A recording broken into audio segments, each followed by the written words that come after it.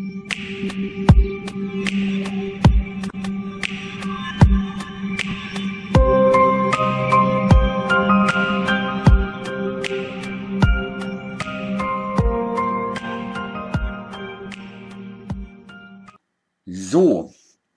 ähm, ich habe mich entschlossen, ich werde das wahrscheinlich jetzt anders machen. Ich werde mir die Cam, ihr werdet mich dann bestimmt wieder schlechter verstehen. Hoppala.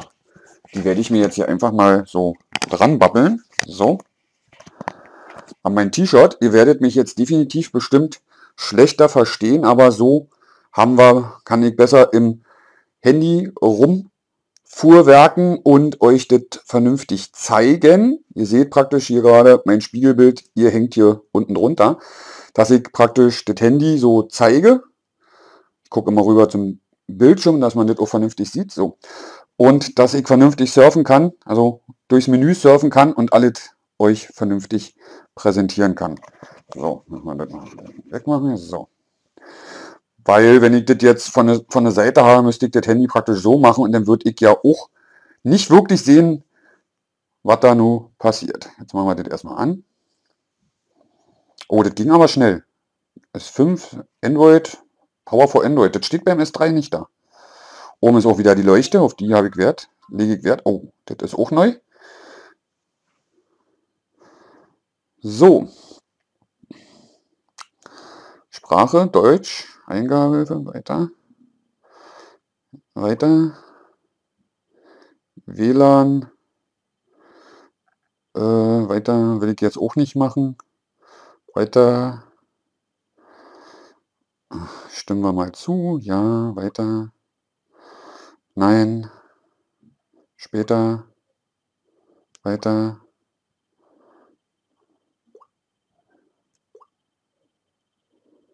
So. Hoppala. Überspringen. Überspringen. Dropbox ist jetzt gleich integriert. Gerätename lasse ich S5.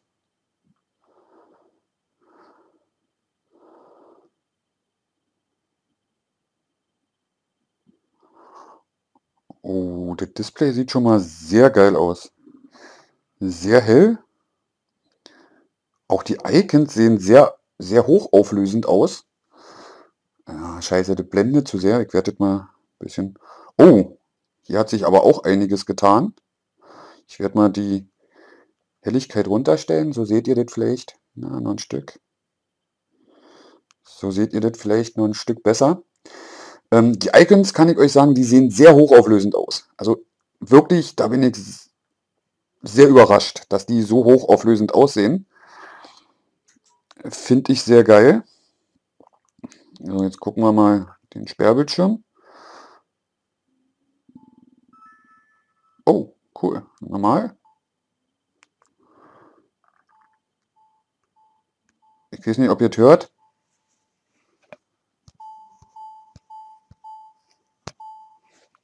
Kommt jetzt so ein Geräusch. So. Und jetzt gucken wir uns erstmal die neue Menüleiste an. Hier oben befindet sich als erstes ja, nein, nicht wirklich nicht. So, hier oben befindet sich WLAN, GPS, Ton. Oh, jetzt steht so ja Ton da. Also jetzt steht so ja was da. Steht, glaube ich, beim S3. Privatnummer. Wartet mal. Miau oder so, weiter, keine Ahnung. Äh, Habe ich seit heute früh irgendwelche, die wegen Nummernschildern anrufen. Ich weiß nicht, was die wollen. So. Also das ist jetzt nicht mehr schwarz um, das ist jetzt so bläulich. Bluetooth, mobile Daten, Download Boost, das ist neu. Energiespar, Multi-Windows und Toolbox. So. Was passiert denn, wenn wir jetzt hier oben nicht drücken? Ah, hier haben wir jetzt hier eine Toolbox, wo die, wo so ein paar Sachen drin sind. Kann ich euch mal zeigen. Kamera, Internet, Notizblock. Kommen wir dahin? Kommen wir gleich zum Rechner. So. Die Toolbox können wir uns irgendwo hinpacken. So, ne? Aber die will ich erstmal gelöscht haben. Achso, das ist die Seite. So. Ich will diese Toolbox nicht mehr. So. Hier kann man halt Seiten dazufügen. Das sieht jetzt auch etwas anders aus. Ist jetzt nicht mehr so, so im, im Okay. Ist jetzt nicht mehr so nebeneinander. Das sind jetzt die Seiten sind jetzt also vorher war oben zwei, dann unten zwei und dann hat, je nachdem wie viele Seiten man hinzugefügt hat, das ist jetzt hier anders. So, aber jetzt erstmal die Seiten, die ich erstellt habe, löschen. So. Das ist jetzt schon mal anders. Oh, S-Finder, Quick Das ist auch neu, dass das jetzt hier steht. So. Aber an sich sieht es aufgeräumter aus. Übersichtlicher. Was haben wir hier? Ah, hier können wir den verstellen. Das, das, das finde ich gut, dass das jetzt, äh, dass man da nicht extra ins Menü muss, sondern hier oben hat man diese Vierecke. Da oben seht ihr das. Und Einstellung ist da auch. Dann gehen wir einfach da drauf und dann kann ich sagen, ich will natürlich meinen Ton. Hoppala, den kann ich doch nicht. Wieso nicht? So, ach so, ich muss erstmal den Stift für Bearbeiten drücken. So, dann komme ich dorthin. Und da kann ich jetzt sagen, zu, das will ich dahin haben. Ich will nämlich erst WLAN, Ton, äh, Bluetooth, Standort. Ich habe da meine feste Reihenfolge. Mobile Daten kommt natürlich noch davor. Äh, Download Boost, den kenne ich nicht, den lassen wir einfach mal da. So, Energiesparmodus kommt noch da hoch. Den kommen wir noch, den will ich noch davor haben. So, Multi-Windows ist mir egal. Multi-Windows benutze ich sowieso kaum, also eigentlich gar nicht. So, jetzt haben wir WLAN, Ton, Energiesparmodus, mobile Daten, Bildschirm drehen, Bluetooth, Bildschirm drehen kommt danach. Reicht, wenn es da ist. Standort, Multi-Windows, WLAN Hotspot, Screen Monitoring haben wir noch. Also das neu. Smart Spy. Energiesparmodus. Hier ist der Energiesparmodus. Müssen wir mal gucken, was das ist. Also da bin ich mal gespannt. So, was haben wir? Privater Modus. Mobile Daten. Na, ersetzen wir mal Bildschirm drehen mit mobile Daten. Da bin ich mal gespannt, was diese da bin ich mal gespannt. Flugmodus, synchronisieren. Das ist mir eigentlich relativ. Und schon habe ich schön übersichtlich wieder, so wie es haben will, dass wenn ich vibrieren, aus, Ton an. So, aber jetzt gucken wir mal, was sich dahinter verbirgt. Ach, da sehe ich praktisch meine Akkuprozent und sieben Tage, okay. Aha. Ach, das ist dieser neue Ultra-Modus, wo man äh, Energie sparen kann. Da macht das Telefon nur das Nötigste. Das finde ich geil. Von dem Modus habe ich schon gehört. Ich sehe ihn jetzt das erste Mal live. Man kann anrufen. Man kann SMS schreiben. Internet kann man auch.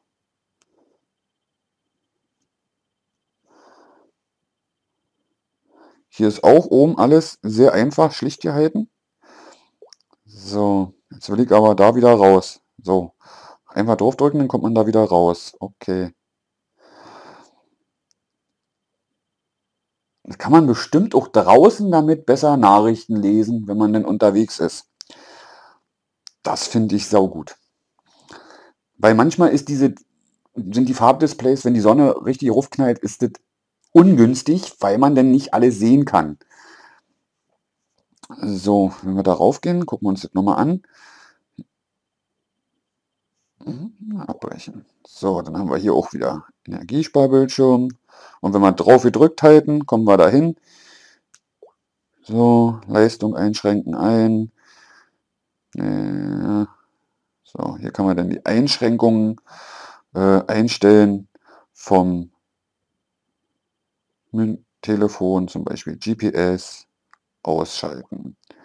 Äh, Touch Key deaktiviert, Bildschirm. So, aber das machen wir erstmal nochmal aus. Was ich gut finde, ihr merkt es nicht, aber ich habe jetzt schon ähm, so eine kleine, so ein kleines haptisches Feedback habe ich, weil wenn ich hier was drücke, dann vibriert das leicht. Aber wir gucken uns erstmal Nachrichten an. So, wir wollen eine neue Nachricht. Ne? Das ist ja, das ist neu hier. Ach, jetzt muss ich gleich mal wieder klarkommen. Tippen Sie zum Neue Nachricht. So. Ja. Ah. Ne, da habe ich kein haptisches Feedback. Das muss ich dann noch einstellen. Okay. Aber was mir wichtig ist, äh, da. Äh, nee. Nee, das ist doof, das will ich nicht. Das will ich nicht. Weil bei meinem S3, da haben sie mir Einstellungen. Texterkennung ist ein. Von Facebook lernen, von Google lernen, von Twitter lernen. So, das ist nicht. Wo haben wir denn? Deutsch Querz? Da. Ah, da haben wir es wieder. Oh Gott sei Dank. Bei meinem S3 haben sie mir die nämlich weggenommen, diese 4 zu 3 Tastatur. So. Seht ihr ja? A, B, C, D, E, F, G, H, J. Alles wieder. Oh, geil. Ich habe meine. Ich habe schon befürchtet, ich muss mit Querz schreiben. Aber nein, ich habe meine Tastatur wieder und schöne dicke Tasten. Oh, herrlich. Oh, da ist ja, da fällt mir jetzt ein Stein vom Herzen, weil ich komme mit dieser Tastatur besser als Querz, weil äh, die ist definitiv dickere Tasten und sind für dicke Daumen ist das halt am besten geil. Also das ist gut. Weil beim S3 gibt's, äh, deswegen habe ich äh, auf dem S3 auch nicht das aktuellste Update drauf, dass es aussieht wie ein S4, weil da habe ich Querz nicht mehr drin. Das wurde mir da weggenommen. So, oh. Musik ist jetzt rund mit einer Note. Das ist... Hm, muss ich mal einstellen. So, da, na, noch eins fällt davor. Wenn ihr das hier mal seht, da ist es nur eine Note. Ah, da. Blau, Kreis, außenrum weiß, Note. Und hier ist es äh, da mit die Note praktisch nicht in der Mitte, da ist ein Playzeichen und die Note am Rand. Kann man sich darüber streiten, welches besser aussieht. Aber auch das Einstellungssymbol sieht im alten ein bisschen besser aus. Das ist so ein bisschen äh, 3D so, so 3D-mäßig. Ja, also sieht wirklich schön abgezeichnet aus. Hier sieht es ein bisschen schlichter aus. Also, weiß ich nicht. Also, hm. Und ich habe jetzt nicht den, den einfachen Modus. Ich habe eigentlich den guten Modus. Einstellungen. Oh ja, da ist es. Das ist jetzt alles neu. Ihr seht wirklich nur diese Bälle dazu. Aber was, wie viel ist denn da drinne, bitteschön? Leck mich am Arsch. Oh, ich glaube, die haben wirklich alles schön aufgeteilt. Weil beim S3 und beim S4, da hast du ja so deine Menüleiste und du scrollst dich tot manchmal, wenn das so, und, und hier scheint wohl wirklich alles besser zu sein. Wirklich, ja, WLAN, hier ist alles nur zu mobilen Netzwerken. Und hier oben ist Schnellzugriff, also Schnelleinstellungen. Oh, hier ist der Fingerprint, weil wir haben ja so einen Fingerprint jetzt hier drin. Den werde ich auch nochmal austesten. Da werde ich die Tage mal ein Video zu machen, denke ich mal. Heute ist ein bisschen ungünstig. Toneinstellungen. Hier haben wir jetzt nur Toneinstellungen.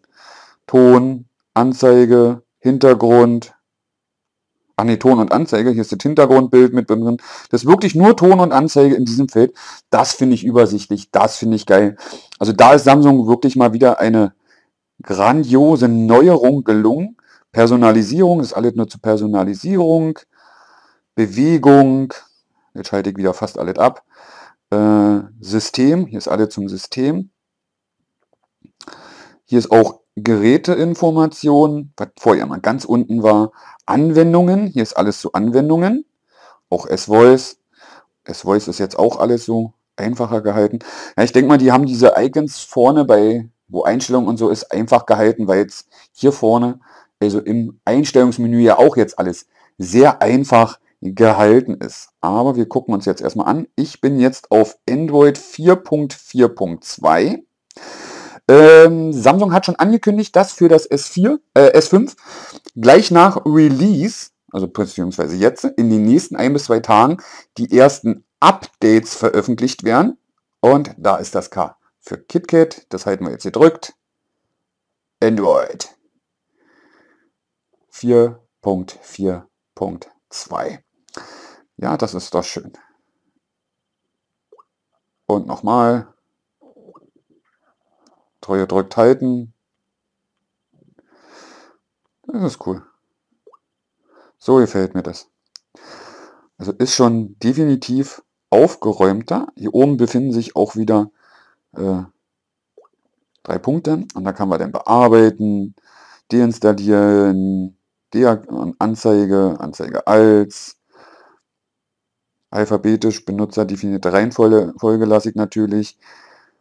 Kauf da, kenne ich gar nicht. Besser, Essen besser, was ist Pizza.de? Deaktivieren, anzeigen. Aber ich kann hier nicht mehr gleich deinstallieren. Bearbeiten.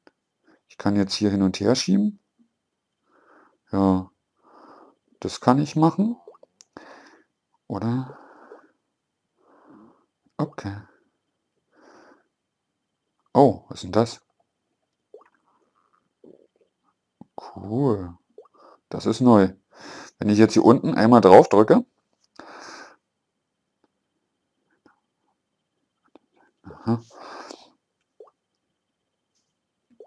da hat man hier so eine kleine Schnellübersicht. Nachrichten, Einstellungen, da ist jetzt hier, ach so, das sind die Sachen, die ich da bei der Schnellansicht drin habe. S-Finder, das können wir rausnehmen, Ausliste entfernen, äh, Taschenrechner lassen wir drin, Kontakte, Einstellungen, Nachrichten, wieso sind Einstellungen doppelt drin?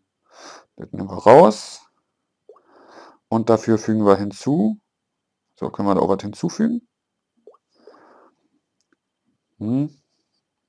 Kein, ach so, das sind die aktuellen Anwendungen.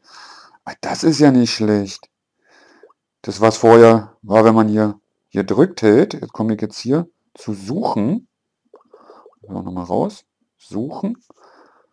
Ja, es ist suchen. Vorher war, wenn man das gedrückt hält, da kommt man zu den aktuellen Anwendungen, kommt man jetzt hier nicht mehr rein. Da muss man jetzt, find, das finde ich gut, das ist jetzt wirklich da. Und dann kommt man zu den aktuellen Anwendungen rein und dann kann man halt sagen, weg. So, okay, was haben wir hier? Hier oben haben wir den Speicher. Ich bin jetzt bei 2 GB. Äh, 1 GB ist jetzt schon ausgelastet. Ja, also da hätte ich mir echt gewünscht von Samsung, dass sie wie im Note äh, einen 3 GB Speicher einbauen. Weil man sieht ja, ich habe jetzt wirklich nur die Standardeinstellung. Ich habe nur Standard drin. Ich habe keine, ich habe noch nicht mal meine Apps drin. Und ich bin schon bei ein Stück über der Hälfte. Ich habe 0,93 GB belegt von 1,81 GB. Jetzt kommen noch meine Apps dazu, dann bin ich garantiert mit meinem Balken wieder ständig hier hinten. Also da habe ich hier, bis hier hinten komme ich dann, da habe ich hier so ein Viertelchen weiß. Also das finde ich wirklich sehr schade. Also da müsste Samsung echt mal ein bisschen reagieren und da mal ein bisschen mehr Speicher, weil das ist ein bisschen wenig. So, aber, achso, wollte ich jetzt gar nicht. Ich würde jetzt mal gedrückt halten, was sehen, was passiert. Ach, da komme ich auch dahin. Da kann ich Hintergrund, Einstellungen kann ich hier machen. My Manager, Übergangseffekte ohne 3D-Drehung. Da gucken wir mal, was da passiert.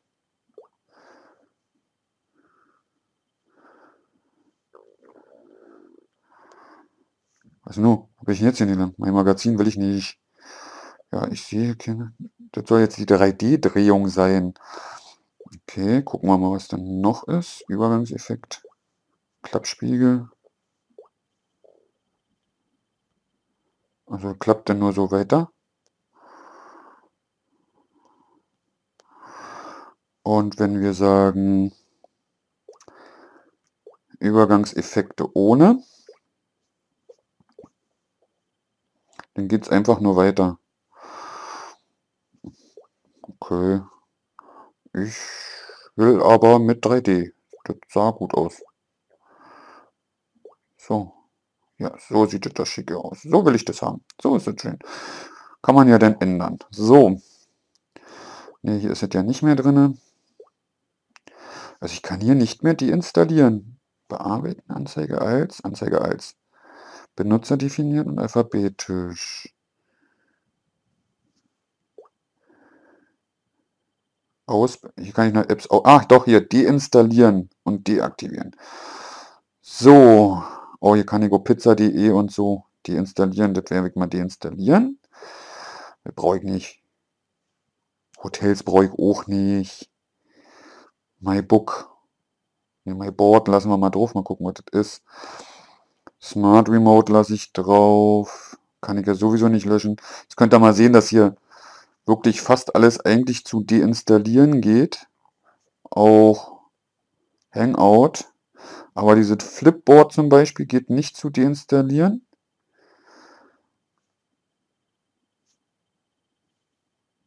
Mail geht, Google Plus geht, geht alle zu deinstallieren. Diese gehen nicht. Ah, hier, Chat-On kann man deinstallieren, das will ich sowieso nicht haben. Da, deaktivieren. So, weg dann mit dem Scheiß. S-Voice, Achso, das ist dieses, was man für Gear Fit braucht, dieses Rennprogramm. Was bei mir ja nicht mit bei ist. So. Aber sieht schon mal sehr aufgeräumt und sehr gut aus und es läuft sehr flüssig, muss ich sagen. Ich kann mich da nicht beschweren. Das ist schon mal gut. So, der kommt weg. Scheiße, brauche ich nicht. So, bumm löschen. So, was haben wir hier noch? Der braucht auch nicht, kommt komplett weg. Ja, eine Seite brauche ich nur. Ich mache hier vorne meine Kamera und meine drei E-Mail-Programme rauf. Google-Suche brauche ich ja auch nicht.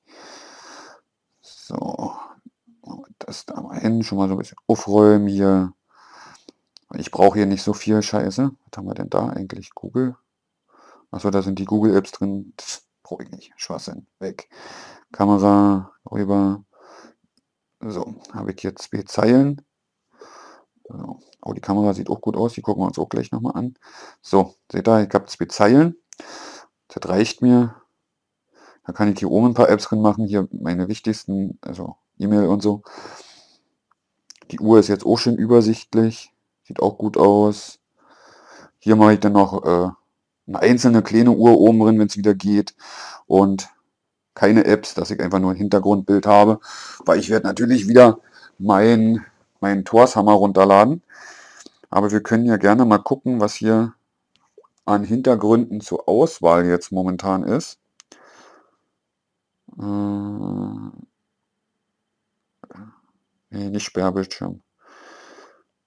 Startbildschirm. So, wir haben hier Oh, ist ein bisschen sehr bunt. Ist ein bisschen sehr bunt. Startbildschirm. Aber ich habe ja keine animierten mehr oder so. Ach, das ist ein Live-Hintergrund. Ach so, die sind jetzt alle hier unten drin einfach. Das ist ein Live-Hintergrund. Zwei Live-Hintergründe sind drin.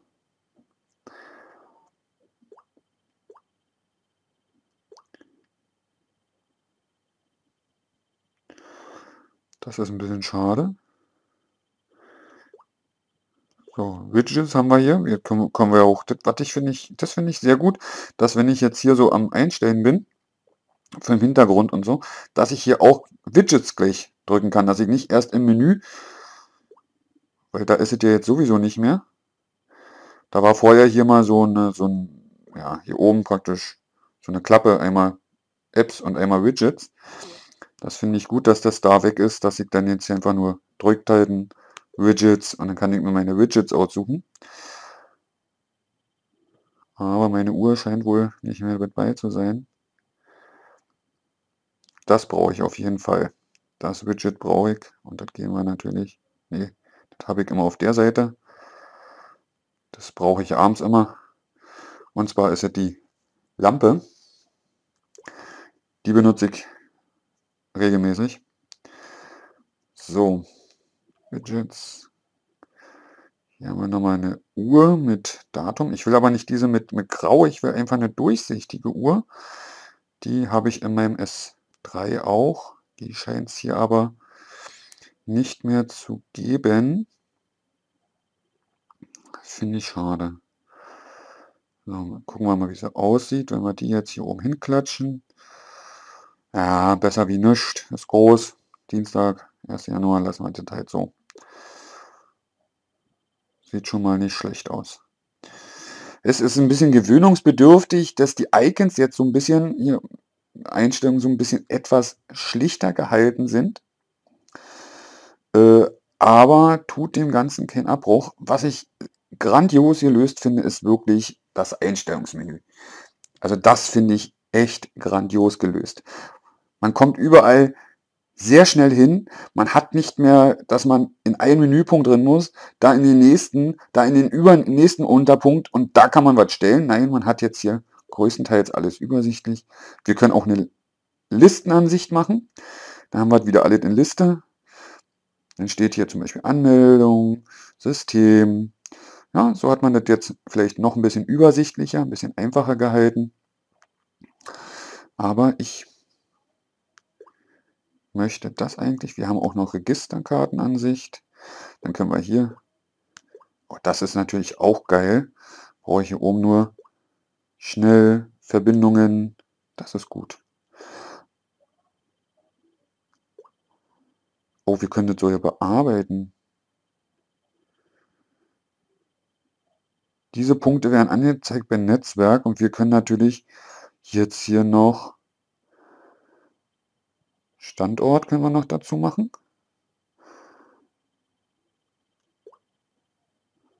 Äh? So, dann nehmen wir mal hier den Download Boost weg. Standort. Ach, man kann nur vier. Ah, okay. Äh, fünf kann man hinzufügen. Wenn man noch einen dazu hinzufügen will, dann sagt er, dass das nicht geht. Aber ich habe jetzt mal den Standort mit dazu gemacht.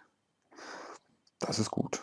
Also das ist doch, das ist doch schon mal wirklich geil. Da kann man sich das wirklich die wichtigsten Punkte, die man immer mal wieder braucht, aufrufen und so. Wo haben wir jetzt hier Netzwerkeinstellungen? Also ich muss erstmal hier wieder machen. Rasteransicht. So. Das ist doch übersichtlich. Finde ich geil. Der Schnellzugriff, Fingerprint, kann meinen Fingerprint einstellen. Ich muss mich selber erstmal richtig rinfuchsen in das Gerät. Hier haben wir die Netzwerkfunktion. Hier habe ich meinen Standort jetzt hinzugefügt. Das finde ich saugeil. Das finde ich saugeil. Muss ich gleich mal die Einstellungen durchführen. Anzeige. Wir gucken mal, was bei sich. Ah, da Schriftart, Schriftgröße, groß. Wir haben auch extra groß und sehr groß. Ja, wir nehmen extra groß. Extra. Oh! Also wenn das nicht geil ist. Also das sehe ich selbst ohne Brille. So ist das schicki. So gefällt mir das. So, jetzt haben wir hier noch Schriftarten. Da kann man sich natürlich wieder welche runterladen. Ich lasse Standard oder, ach, ich nehme Samsung Saints. Samsung Saints. So. Das sieht doch schick aus, oder? Nee, ich nehme doch lieber Standard. Ich habe immer Standard gehabt. Oh, das ist doch schick. LED-Anzeige. Dann Akku fast leer, will ich ohne Anzeige haben. Das ist schön. Also so finde ich das neue Handy echt genial. Hat Samsung wieder mal super gemacht. Auch das jetzt hier oben. Hoppala, seht ihr gar nicht. Hier oben steht jetzt äh, praktisch die Uhrzeit und das Datum. So, Und hier, der Akku ist jetzt äh, weiß gehalten, ist nicht mehr grün. Äh, die Prozentanzeige vom Akku ist automatisch jetzt mit bei. Die muss man vorher immer separat bei Einstellung ein- oder ausschalten. Die ist jetzt gleich Anfang, von Anfang an eingeschalten. Also das ist schon mal schön.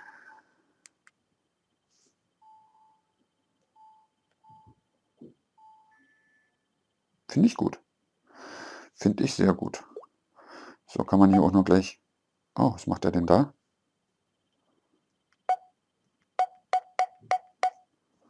So, wenn ich jetzt hier drauf drücke, gedrückt halten. Auch hier sieht es jetzt wesentlich anders aus mit dem Ausschalten, Offline-Modus, Neustart, Notfallmodus. Hier kann man auch gleich hin und her wechseln zwischen den verschiedenen, die man haben will, kein Ton und so. Da habe ich es nie umgestellt. Ich habe es hier oben und da kann ich dann jederzeit sozusagen bumm, einstellen, so wie ich es haben will. Ja. Auf jeden Fall ist Samsung da wirklich ein klasse Gerät gelungen und wirklich, da ist ja auch wieder, glaube ich, Projekt Butter eingebunden, damit das hier so schneller läuft, wenn ihr seht. Also rucki zucki, also ich habe bis jetzt noch nichts Negatives gemerkt. Aber am geilsten ist wirklich, äh, was mir jetzt auffällt, wirklich, was am geilsten ist, ist diese Einstellungen, dass die jetzt wirklich vereinfacht und äh, super erreichbar sind. Und das hier oben, das übersichtlicher, ja, also ist schon nicht schlecht. Ja, diese Quick ist schon nicht schlecht. Ja, aber soweit soll es jetzt zum neuen Flaggschiff von Samsung, dem S5, auch gewesen sein. Ich möchte jetzt auch noch ein bisschen damit rumspielen, noch weiter Experimente machen, was kann und meine SIM-Karte und meine, meine, meine, meine Micro-SD-Karte reinmachen und meine Töne äh, dorthin verschieben und alle drum und dran. Bis dahin, ahoi, sagt euer Odin.